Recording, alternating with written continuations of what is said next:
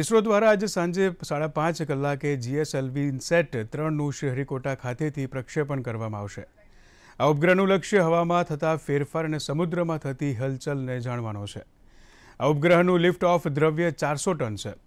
GSLV 3 તબક્કામાં વહેંચાયેલો લાંબો 51.7 મીટરનો ઉપગ્રહ છે આ ઉપગ્રહમાં પહેલા તબક્કામાં પ્રાણદોષક S139 મોટર સામેલ છે તો બીજા તબક્કામાં પણ 40 ટન પ્રાણદોયક સંગ્રહિત ઉપગ્રહ છે